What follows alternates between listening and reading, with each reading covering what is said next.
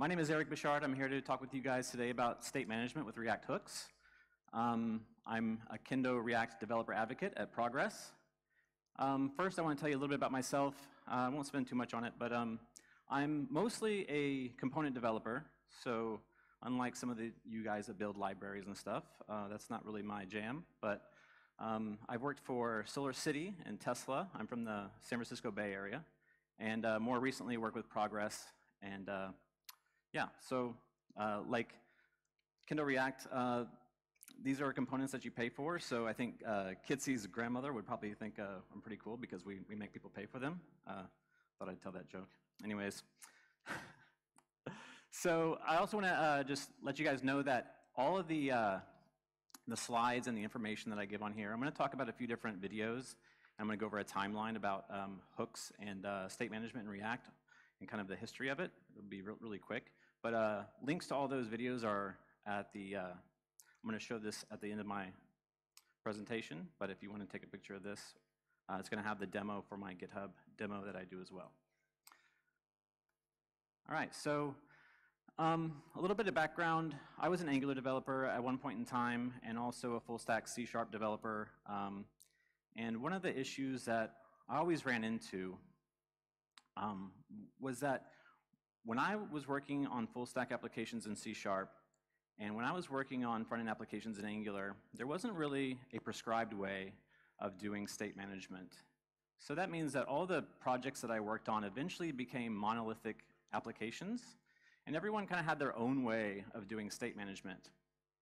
Um, when I left Tesla, I started looking for uh, new jobs, and I found React uh, not only to be exactly what I was looking for, but it also had a really good prescribed way of doing state management. And that kind of leads into this timeline here. Um, so since the beginning in 2013 when React was released, set state was kind of already a thing. And in fact, um, has anyone seen this video? Anyone? Hands up? Okay. So this is back in 2013. This is Tom Occhino and uh, Jordan Walke, and this is an introduction to React.js. It's a horrible video to watch because it's only at like 480 um, and it doesn't get any bigger, but it's actually very uh, interesting to go through and watch it and understand kind of back then in 2013 what their vision for React was. And a lot of it still makes sense today. Um, in 2014, Flux was previewed at F8. And um, one of the things I thought was very interesting about, okay, so I'm going to kind of have these little videos lined up with each point in the timeline. And again, these are going to be uh, in my notes, and you can go to watch each of these videos if you want to. Um, but one of the things that Jing Chen uh, talked about in this video was about the MVC model. And I worked with ASP.NET MVC and a few other MVC uh, frameworks. And the issues with those were always scalability. And once you got a lot of models and lots of views, um, you always had this kind of, uh, all of these arrows going back and forth to each one, and it was very hard to keep in your head uh, kind of this mental model. Um, in this video, they kind of talk about Flux for the first time and show the model and how that works. And when I started learning about Flux, I knew that this is exactly kind of uh, what I wanted to uh, use in, in, in, React, and I thought it was, uh, I know that behind the scenes is kind of also how set state works, and now how hooks works as well. It's not exactly, but it's similar. Um, because believe me, as a component developer, I am not the one you want in your project figuring out how to do all the state management and coming up and rolling my own uh, ideas of how to do that. Even, even, even with Redux and some of these libraries that help you out, you just, that's not something you want me doing. You want me focusing on CSS, uh, JavaScript, HTML, and uh, you know, taking direction from the design department and building you know, beautiful components for other developers to use. In 2015, uh, this, I'm, I'm, pretty sure a lot of you guys have seen this video.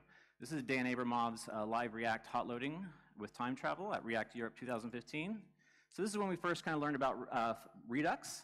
And this workflow even uh, looks pretty similar to what a lot of us are doing today. Not exactly, but, but similar. Um, and then in 2017 came React Fiber. So React Fiber was um, a complete rewrite of the core reconciliation algorithm inside React but it also kind of set the stage for 16x version of, of React. And with that version um, came a lot of, I guess, developer experiences and things. Lin Clark has an excellent video. It's called a cartoon intro to fiber, which, by the way, uh, fiber is a very complex topic. but she breaks it down very simply. And so this is kind of one of the last videos I'm going to end with this on, on this timeline. But I think that it would be interesting to go back and kind of watch these all in succession to kind of figure out if, if you're new to React, one, kind of where the history comes from, uh, but also just to kind of figure out where we were, where we've gotten to now, and kind of uh, why hooks is so important. Um, I know that a lot of people kind of talk about hooks and like, yeah, it's not great for everything, and um, you know, maybe you shouldn't be doing global state and things like this with it, but um, I found it very easy to work with as a, a new developer to React within the last year or so. And uh, one of the first things that I worked with was in 2018 was a context API. So since hooks, um, the context API has even become even more easier to use with things like use context. So it's kind of the, uh, the end of the timeline. But um, I just wanted to kind of uh, go over kind of where we came from, where we're at now, and, and kind of what set the stage for all these new developer experiences. And that's one of the things that I really like about React is that all of the thoughtfulness that they put into uh, developing this API, kind of not messing up the API from before for the, for the most part. And uh, it's, it's, uh, it's been amazing to work with React over the last year and a half, and to be honest, to get away from Angular. Um, but I, I, do love Angular. I love the Angular community. It's where I started. But uh, I, I, love React uh, a lot more. um, yeah, so back in, I, I guess it was February, uh, almost spring of 2018, uh, 2019, we got the 16.8 version of React, which was the release with hooks, uh, the one with hooks. And so that kind of uh, set the stage for what we can do now with hooks. so hooks specifically provide um, to React, a stateful primitive that's simpler than a class component. And just like Kitze said earlier, like, we, like I don't want to use classes. That's why I moved away from Angular. I like the functional uh, aspect of React, the fact that everything is a function, that JSX is just, you know, uh, underneath it all just a bunch of function calls returning functions. So um, again, a stateful primitive, simpler than using class components, um, contain composable behaviors. These are all the things that as a component developer make it very easy for me to do my job. So what does this mean for the average developer and people like me who, who use hooks? Well, it means that in a functional component, you can do things like add state, add regular or custom hooks to that functional component. You can share non-visual logic and do code reuse, um, remove distributive logic and put and co-locate it into different effects. So these are all things that kind of make your code clear and concise. Uh, as well, HOCs and render props, uh, it kind of it can get you away from that. You can still use that stuff if you want to, um, and of course, you can use classes right next to hooks, so you don't have to rewrite everything right now. Obviously, we all know that. Um, you can use all that stuff side by side, and there's no problem with it. In fact, it doesn't really make sense to go back and write some of those things uh, since you can use it side by side unless there is, for some reason, some type of a benefit that you're getting out of it. Because most of the benefit from hooks, I believe, is just um, readability. A new person joins my team, it's going to be easier for them to understand what's going on, uh, less code on the screen, I guess. Um, most of us know the four rules of hooks, but uh, you know, don't call it from within a loop. From within a loop, nested functions they sit at the top level. Um, only call it from a functional component or another custom hook. Um, and the easiest way to kind of make sure that you're staying true to these rules is to use a very simple NPM uh, package called ESLint plugin React hooks. So that's something I recommend installing if you don't have it installed. And um, that way, as you're developing, you can get uh, errors and warnings to show whether you're doing things right or wrong. So I'm going to kind of go over just really quickly a few of the uh, few code examples for use state and use effect. I won't spend too much time on this because I feel like a lot of people should know this stuff already. I've been giving this, hook, this hooks talk for almost a year, and it's advanced a little bit, but some of this stuff, um, again, we don't really need to spend a whole lot of time on. But this is kind of like what we used to use um, for a simple canonical counter example. And I know this is contrived counter example, but it's interesting to look at kind of what, what these classes looked like before and kind of what they look like afterwards with hooks, right? Got a lot more room on that screen. In fact, we can probably blow it up a little bit. Uh, it's another thing that's good with hooks is you can now show the, uh, your code a little bit larger on the screen at a conference like this where you got two-story stage uh, displays behind you. So yeah, I mean, from that to this, no more binding, a little bit easier to uh, grok, understand kind of what's going on here. Now, let's go back real quick. Use state, uh, very simple in its use. You call use state, you pass in uh, ba basically an initializer, like a zero, like we want to start at zero. And then we destructure that to get count, which is the actual uh, state, and then a way to go ahead and update that state with set count. Um, then we write a little function like increment count, and now we can easily set count. And we, all we have to do is tell React, what do we want our new state to look like? And then it'll take care of the rest for us. So that's what I like as a component developer, is that I can kind of let React do the heavy lifting for me and uh, not have to worry about things like how to manage state in the background. And that really becomes apparent when you start using other things like use effect and even use reducer. We'll go over use effect really quickly here. So again, here's our, our new functional component. And uh, to add an effect to this basically means we want to we want to do something outside of our outside of our functional component or outside of our application maybe, uh, like update the document title. Again, a canonical, a contrived example, but if you think about it, updating that document title happens outside of the application. Similar to fetching data, it's similar to um, you know setting something in IndexedDB or maybe um, setting something in the browser, um, setting something in the database. We want to do something outside of our application. By the way, this is, that's, what the, that's kind of the same code that you would have in a class component that you can do right here in a, a functional component with uh, hooks and use effect. Yeah, so a big change, a lot more easy to read. So a few tricks to using use effect, using use effect, um, are that we can pass in a second argument. And what this second argument allows us to do is to, uh, for instance, we can pass in an empty array so that we can only render our effect on the initial render. Now, if you don't pass in that second argument, you're going to get a re-render on the initial render and every subsequent render. And then if you pass dependencies into that array, like ID or name, then what happens is our, our effect only runs whenever those pieces of state change. And so uh, with this, you can get pretty fine-grained control of when the render happens and when it doesn't. And uh, for me, so far, this has been uh, enough. Uh, I haven't ran into any major problems where I, um, like as long as I'm composing components correctly, this works enough for me. Also, we can clean up uh, after our effects very easily by just using the return statement. So if we pass a function into our return, uh, we can do something like unsubscribe from something we just subscribed to as soon as the, uh, as soon as the component is unloaded from the DOM. So um, here, yeah, we're basically subscribing with someone's username, and then again, after everything's done, we're unsubscribing. So this is kind of how you do cleanup afterwards. Um, again, a very contrived example. So another powerful hook that's built into React and kind of the thing that I want to focus on mostly today is use reducer. But before we go into the demo, I want to show you a little bit about kind of what reducers are in case you need a refresher. Um, a reducer in plain JS is just a method that executes a provided reducer function. And on each element of, say, an array, it returns a single output at the end.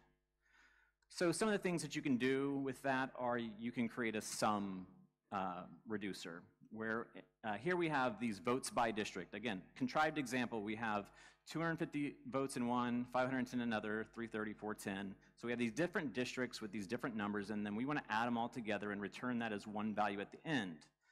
So um, we have an accumulator, we have a current value, and we always return uh, whatever we're accumulating with the next value in the list.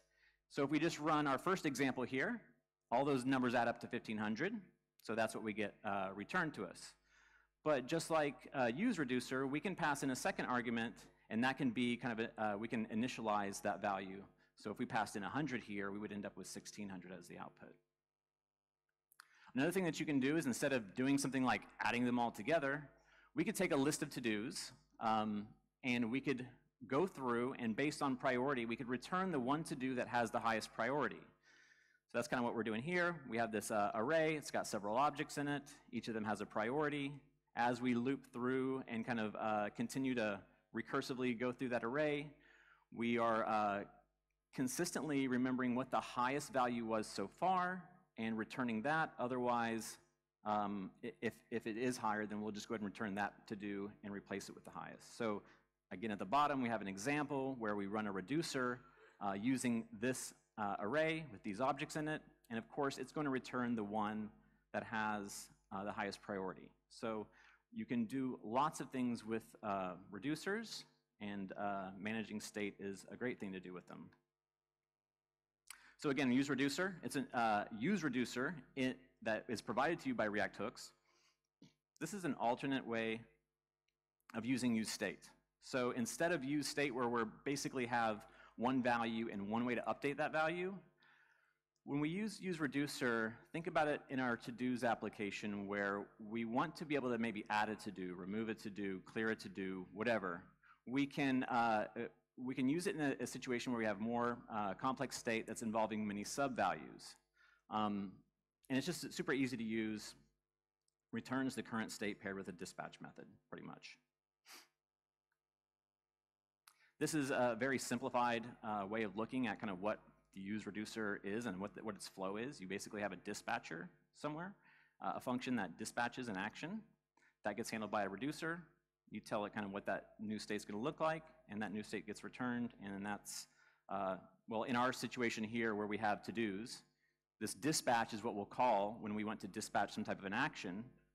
And so you can kind of update that, that view to look like this, where we have a dispatcher, it dispatches an action, that gets handled by a reducer. In our case, it's called to-do reducer.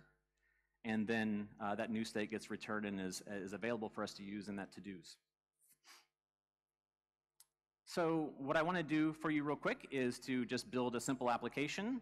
Uh, we already kind of have it built, and I'll show you a little bit about that. Oops, uh, let's go here. And we've already got it running. So what we're going to uh, finish up is let's assume that we are working for a team, and they've built this nice little to-do uh, application for us. Um, they've, they've dropped in some components. Look, they're using Kendo React. Wow. Um, they've got a, an input here, an add to-do button. We've got a grid that has a list of um, to-dos that we passed in uh, as an initializer, so it's kind of so the guy could create a pr prototype for us, I guess. We've got a remove all. We've also got some other things going on inside this application that I'm using hooks for as well. If we, uh, we have like, like a responsive navigation here. By the way, this demo is available at the end of the slides in that, that link I give you. Um, and so I am also toggling the navigation. I'm opening the side navigation. I'm controlling the theme from light to dark. Uh, all these things I'm doing with kind of global state. Uh, and I'm using, uh, so I'm using context API with a, a couple of uh, values that I'm kind of keeping track of with that context API. And then everywhere in my application where I want to be able to affect uh, this context, um, I am basically able to use that uh, anywhere in my application and just say context dot, you know, uh, up, update theme or whatever, or set theme. So it, I, am I'm, when you go and look at this demo, you can find a lot of different ways that I went through and kind of used hooks. Um, here's kind of the main JS um, another thing that I'm using uh, it for, I'm using a custom hook right here called use media predicate. And this way I can keep track of uh, where, the, where the browser's at. Is it medium or small at the current uh, point? I can then use that to set a class here. And so this app container actually has another class that's either uh, medium or small, and based off that, I can make decisions with CSS on other things to do, like hide the navigation or show it, or change a color somewhere, whatever we want to do. Um, I've also got this nice little alert, which will come in kind of at the end. This is, uh, an, this is an accessibility uh, component that allows me to kind of add messages to a queue, and then I can announce to the screen reader kind of what's going on the page. But let's go ahead and uh, build our to-do page real quick, and it's going to be super easy. I've already got it all. You're not going to have to watch me type or anything, because I'm going to just use some snippets here. But kind of the, the first thing we want to do is uh, go down here and look at our JSX. So we've got, um, we've got an input up here, which we can type into. We've got a button that can add a to-do. We've got a grid that shows all of our uh, to-dos. Inside that grid, we've got a complete button and a delete button and then another clear button at the bottom. Now they've already got calls out to some functions up here, so what I'm gonna do is I'm just going to fill these in really quickly and show you how we would use use reducer in this case. So here, we're just basically using uh, use reducer uh, to create our to-dos uh, state. We're passing in an uh, initial state as, the, as what we're going to start with, and that's just basically a couple to-dos to get us, uh, get us, to get us going. Um, also, since our guy that prototyped this uh, used initialize state down here, we got to change this to to-dos. All right. And then go back up here. I also, another thing I want to do is I want to have an effect in here. So what we'll do is we'll keep track of completed to-dos. So we'll do a filter on top of our uh, to-dos uh, object and basically say, let's keep track at all times how many to-dos are already completed. Another thing we need to do is we need to make sure that every time we type into the input, that we've got a function that uh, uses set text input, uh, which is just using use state, not a use reducer. And that way, every time we type into the input, it will update uh, that state so that whenever we want to use that value, when we add a new to-do, we can just, we can just uh, grab that value and send it off so that we can give the to-do a name. Um, and if we put that there, we also need to go in here kind of put an on change in here. All right, so on change, we're going to update the text input. Uh, our value will always be text input. And now, so, so now we're kind of ready to add our first uh, dispatch to add a to-do. Oops, wrong one.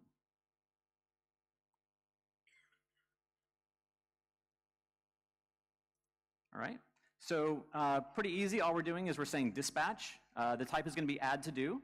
The name is going to be grabbed from that text input, right? So anything we typed in there is going to go get sent off for the name of the, of the to-do. And we want to set all to-dos at the beginning to be false, because when we add a to-do, we don't want it to automatically be uh, true. Next, what we need to do is we need to go into our, our reducer and just go ahead and make sure we know uh, what we're passing back here to, to the state. So what we do is we say, hey, if action.name has a length to it, in other words, if someone's typed something in, we want to take the state that we already have and spread that out. We also want to append one object onto the end of it. Uh, we're just going to use state.length uh, and, and kind of add one to it for the ID, which is good enough for a demo. And for name and complete, we're just going to take the values that we passed in. Right? Pretty easy. And uh, for since we don't have a whole lot of time, I'm just going to go ahead and do all of these at one time here. So we've got our dispatch to completed to do. We've got a dispatch to deleted to do, super easy. And all this is pretty much the same. Uh, that first add to do is the only one that's kind of different. And then we have a dispatch to clear to dos. So we're covered there. Now if we go back to our reducer, now we just need to have uh, tell our state kind of how to be updated for each one of these. So here, um, for when we're going to toggle one complete, what we want to do is say, hey, let's take the state, let's map that out, and uh, we're going to look at the item ID that we passed in, and for anyone that matches it, we're going to return that to do specifically and flip its complete value. And then any other ones, we're just going to return that to do on its own. So at the end, we return all the to-dos with just the one that we, that, that we specified with that complete flipped. And then to delete one, it's even easier because all we want to do is take that state, filter it, check the ID, and then uh, we're going to remove this one kind of from the list. We're going to filter it out. The easiest one is this one here at the end, right? Just going to return an empty array. When we want to clear it, we just want to return an empty array. So, what that should give us now is take out the cat. All right, let's do take out the dog too. All right, so now um, when we check one complete, uh, it'll complete the to-do. When we remove it, it should remove the to-do. Obviously, when we added it,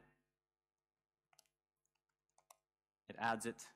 And if we want to remove them all, it removes them. Now, um, there's one thing that's not working, but I'm not really going to go, oh, here it is. We didn't add our effect. That's why. All right. So now if we go back, we should see this document title update for each one of them. I can't spell. But anyway, so as I check them, right, we've got, we see that that uh, document title is updating for each one. If we remove them, it's updating as well because that completed to do is always keeping track of it. And for someone like me who's just building components and kind of uh, wiring things up, this is exactly how I want React to work. It's super easy to work with, uh, and it, this is exactly, uh, again, this helps me out immensely. One more thing that I want to uh, show you uh, is that, uh, I know I'm running out of time, but um, our job is really not done here as developers because um, one thing that you kind of get when you, when you use components here is um, you get these little islands, uh, like Kendo React components, they have pretty decent accessibility, but you're just getting little islands of accessibility throughout the application.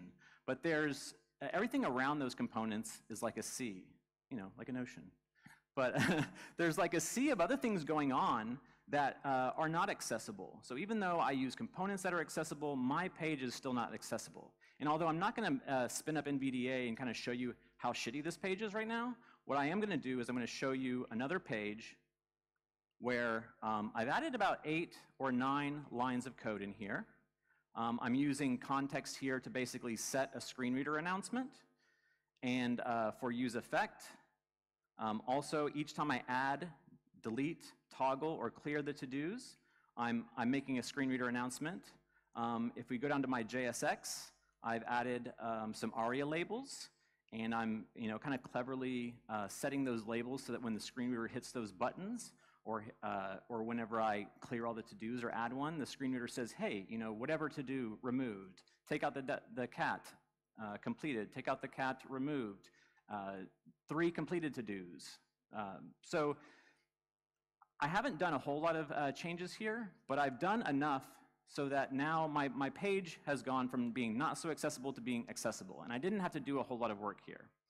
So that's kind of it for the demo, but uh, kind of what I want to leave you guys with is uh, this graphic here, because as developers, as we're working uh, on products and, uh, and shipping them, we need to be cognizant of how accessible these applications are for other people. And it, sometimes it doesn't take a whole lot to go ahead and make them accessible. So what I want to say as we kind of close out this conference is to you know, make sure that as a community that we're thinking about diversity and inclusion, of which accessibility is a huge part of. Um, support and amplify voices of everyone regardless of backgrounds or their differences. Don't be afraid to start small and grow with accessibility uh, in your work.